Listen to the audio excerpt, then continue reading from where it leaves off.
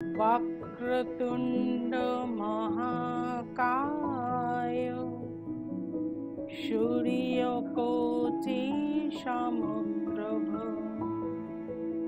निर्विघ्नं कुरु मे देवा सर्वकार्येषु सर्वदा ওম গং গণপতে দিব্যায় দু হাজার তেইশ আর দু হাজার তেইশ মানে বারোটা রাশি লগ্নের জাতক জাতিকাদের কেমন যাবে, কোন কোন রাশি এ বছর কীরকম উত্থান হবে আর কোন কোন রাশি নানান সমস্যার মধ্যে পড়ে যাবেন, সেই নিয়ে আজকে আলোচনা। কিন্তু আজকে আমরা মেনলি ন্যাচারাল জোডিয়াকে যেটা প্রথম রাশি, মেষ রাশি সেই নিয়ে আলোচনা করব।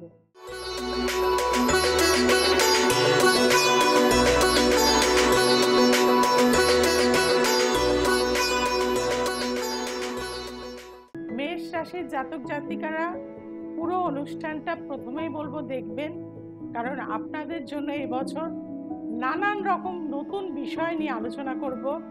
সেইগুলো কিন্তু আপনাদের জীবনের গতিপথকে অনেক বেশি বাড়িয়ে দেবে। প্রথমেই বলব যে দু হাজার তেইশ জানুয়ারি মাসের একদম ঠিক ডট বারোটা এক মিনিটে দিল্লি সাপেক্ষে ল্যাটিচিউড লঙ্গিটিউড ধরে আমরা যে প্ল্যানেটারি পজিশন পাচ্ছি, তাতে মেষ রাশির ঘরেই কিন্তু রয়েছে চন্দ্র এবং চন্দ্রের সাথে রয়েছে রাহু। দ্বিতীয়ভাবে রয়েছে মঙ্গল এবং অষ্টমভাবে রয়েছে মানে ন্যাচারাল জুডিয়াকে সপ্তম ভাবে রয়েছে কিন্তু কেতু। অষ্টম ভাবে কোনো গ্রহ নেই, নবম ভাবে রয়েছে রবি বুধ, দশমে রয়েছে শুক্র এবং শনি, একাদশে কোনো প্ল্যানেট নেই, দ্বাদশে চলে গেছে বৃহস্পতি। আমরা যখনই সারাটা বছর নিয়ে আলোচনা করতে চাই, তখন কিন্তু আমরা চারটে প্ল্যানেটকে মেন প্ল্যানেট হিসাবে ধরে থাকি। তাদের কিন্তু গতিপথকে পর্যবেক্ষণ করি এবং আউটার প্ল্যানেটগুলোকে আমরা বিশেষভাবে ফলো রাখি। যার সাপেক্ষে আমরা প্রেডিকশন করি এবং সেইগুলো আপনাদের জীবনে অক্ষরে অক্ষরে মেলে। মেষ রাশির কিন্তু এবছর মেন যে জায়গাটা সেটা হচ্ছে নাইনটিন জানুয়ারি স্যাটার্ন ন্যাচারাল জোডিয়াকের টেন্থ হাউস অর্থাৎ মেন যে কর্মভাব, সেই কর্মভাব থেকে আপনাদের একাদশ ভাবে যাচ্ছে। একাদশ ভাব হচ্ছে আমাদের ফুলফিলমেন্ট অফ ডিজায়ার অর্থাৎ আপনার জীবনের যে স্বপ্ন, সেই স্বপ্নকে বাস্তবায়িত করতে চলেছে। মেষ রাশির জাতক জাতিকাদের বলব যে, এবছর কিন্তু সাকসেসের লেভেল অনেকটাই কিন্তু ওপর দিকে উঠবে এবং আপনাদের প্লেসমেন্ট চেঞ্জ হতে পারে, কর্মের জায়গা বছরের প্রথম চেঞ্জ হতে পারে বা বহুদিন ধরে হয়তো আপনাদের পজিশন চেঞ্জ হচ্ছিল না প্লেসমেন্ট চেঞ্জ হচ্ছিল না, তাদের কিন্তু প্রমোশন পাবেন এবং সেই প্রমোশনটা আপনাদের আস্তে আস্তে কিন্তু সাকসেসের দিকে নিয়ে যাবে। আপনাদের এতদিন পর্যন্ত যারা স্টুডেন্ট রয়েছেন, কারণ শিক্ষা ক্ষেত্র হচ্ছে আমাদের জীবনের সাফল্যের প্রথম সিঁড়ি। শিক্ষা ক্ষেত্রের জন্য বলব আপনাদের কিন্তু কনসেন্ট্রেশন লেভেল কিন্তু আরও বাড়াতে হবে। মাথা ঠান্ডা রাখতে হবে।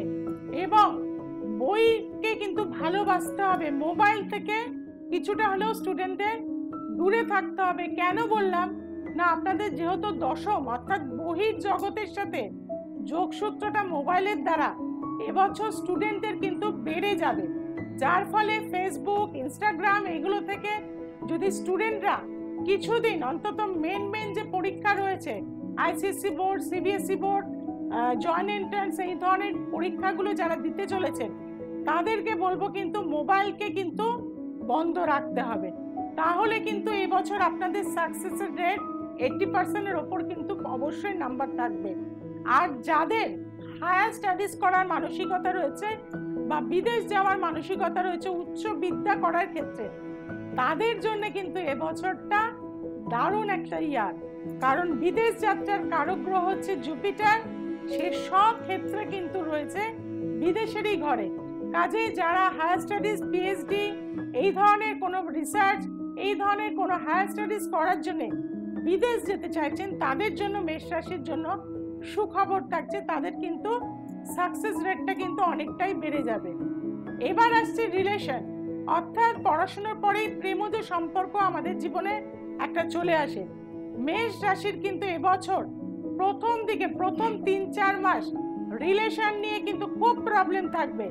বা আপনাদের বিয়ে হবে হবে করেও বিয়ের জায়গাটা কিন্তু পোস্টপন্ড হয়ে থাকবে কোনোভাবেই সাকসেস পেতে চাইবে না। সেই কারণে আমি বলব, জ্যোতিষ কাউন্সিলিং এর অবশ্যই প্রয়োজন রয়েছে।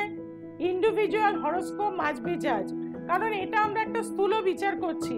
একশো জনের হয়তো নব্বই জনের সঠিক হবে, দশ জনের মিলতে চাইবে না। কিন্তু যদি আপনার ইন্ডিভিজুয়াল হরস্কোপ দেখাতে চান, তাহলে নিচে যে ফোন নাম্বার দুটো যাচ্ছে, অবশ্যই যোগাযোগ করবেন। প্রেমজ রিলেশন থেকে ইমোশনাল হবেন না এবং প্রেমজ রিলেশন আপনাকে লাইফে ধাক্কা দিয়ে যেতে পারে। আপনাদের এবছর কিন্তু শত্রুতার দিক থেকে কিন্তু সমস্যা রয়েছে। বিশেষত যারা ব্যবসা করছেন, বছরের অন্তত এপ্রিল মাস পর্যন্ত নতুন কোনো ব্যবসা শুরু করতে যাবেন না। কারণ আপনাদের সপ্তম ভাবে যে ড্রাগন টেল রয়েছে, অর্থাৎ কেতু গ্রহ রয়েছে, সেই ড্রাগন টেলে থাকার জন্য দীর্ঘদিন যারা জয়েন্ট ব্যবসা করছেন, তাদের ক্ষেত্রে দেখা যাবে বিজনেস পার্টনারের সাথে ভুল বুঝাবুঝি হবে, বহুদিনের ব্যবসা হয়তো আপনাদের নষ্ট হয়ে যেতে পারে ব্রেকডাউন করে যেতে পারে আর নতুন কোনো ব্যবসা জয়েন্ট পার্টনারশিপে কখনোই করবেন না। এপ্রিল মাস পর্যন্ত কিন্তু একটু থেমে থাকবেন। এপ্রিল মাসের পরে ট্রানজিটটা কিছুটা আপনাদের বেটার হবে। জুপিটার আপনাদের এপ্রিলের পরে ট্রানজিট করে লগ্নে আসবে ভাগ্যপতি। তখন আপনারা নতুন কিন্তু ব্যবসা শুরু করবেন। সেটা আপনাদের জন্য বেটারমেন্ট হয়ে থাকবে।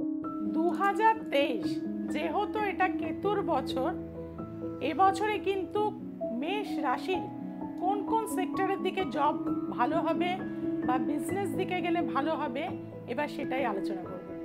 প্রথমেই বলব যে আইটি সেক্টরের জন্য যথেষ্ট ভালো উন্নতি পাবেন। কেমিক্যাল ইন্ডাস্ট্রির সাথে যুক্ত যারা কাজ করছেন বা মেডিসিনের জায়গা থেকে যারা কাজ করছেন মেডিকেল রিপ্রেজেন্টেটিভ বা যে কোনো মেডিকেল ওরিয়েন্টেড ইনস্ট্রুমেন্ট হতে পারে মেডিসিন তৈরির ফ্যাক্টরি হতে পারে, সেই সম্পর্কে কিন্তু চাকরি বাকরি এবছর যথেষ্ট বাড়বে এবং ফার্টিলাইজারের জায়গা থেকে যথেষ্ট উন্নতি হবে। এই ধরনের চাকরির কিন্তু আপনাদের এবছর সুযোগ থাকবে।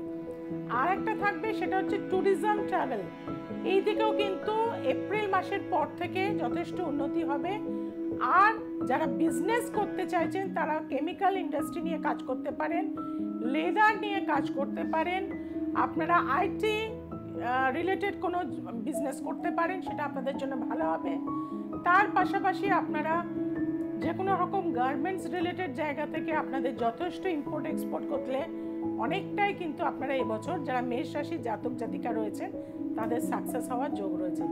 এবারে বলব আপনাদের রোগ, অর্থাৎ মেষ রাশির দু হাজার তেইশে কী ধরনের রোগে? প্রথম যেটা প্রিকশন সেটা হচ্ছে মাথা। মাথায় চোট আঘাত আসতে পারে মেন্টাল সমস্যা প্রবলভাবে বাড়ার যোগ রয়েছে।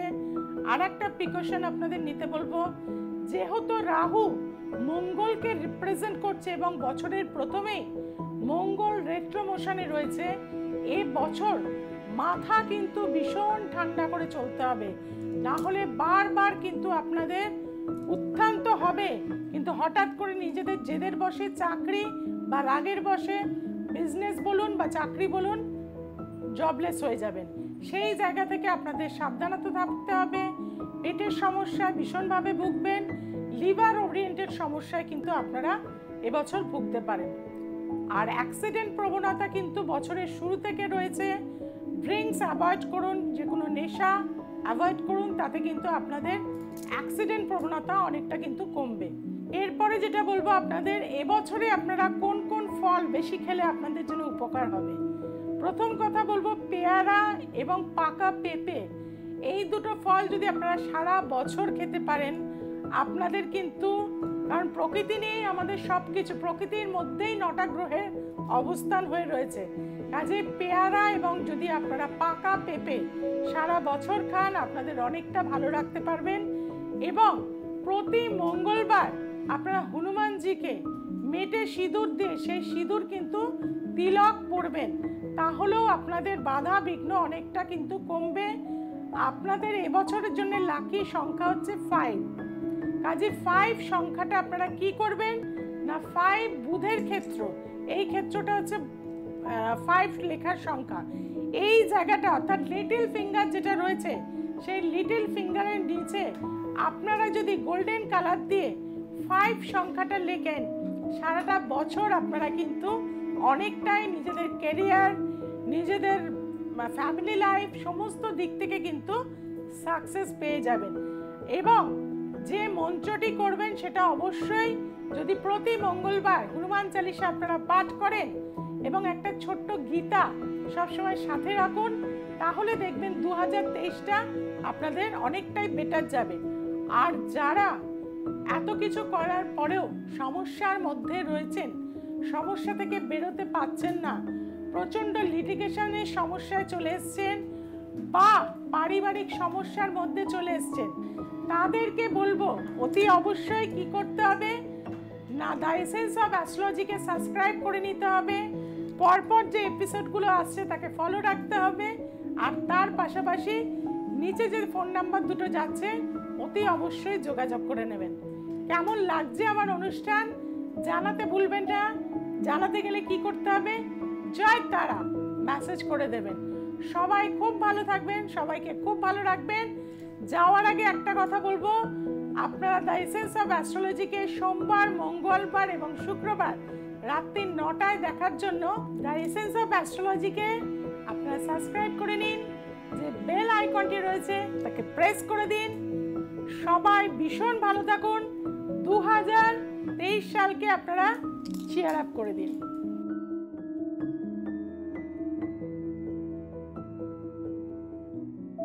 নমস্কার, আমি দিদির কাছে এসেছি শিলিগুড়ির থেকে। আমার নাম আশা চক্রবর্তী। আমি দিদির কাছে গত এক বছর ধরে দেখাচ্ছি। আমি দিদির কাছে রেমেডি নিয়ে এখন অনেকটা ভালো আছি। আমার শারীরিক দিক থেকেও ভালো আছি। আর আমার মেয়েকে দেখিয়েও ভালো আছে। সমস্যায় আছেন, একবার দিদির কাছে এসে দেখান, আপনার অবশ্যই উপকৃত হবেন। মমতা বলছি, দিদির কাছে আসছি, আমি জলপাইগুড়ি ডিস্ট্রিক্ট থেকে আসছি আমবাড়ি ফালাকাটা। আমার একটা জায়গা হচ্ছিল না, অনেক সমস্যা ছিল আমার। সেই সমস্যাটা আমি বৈশালীদির হাত ধরে আমি অনেকটা উপকার পেয়েছি। আপনারা যে যেখানেই থাকেন, আপনারা আসবেন এখানে দিদির কাছে।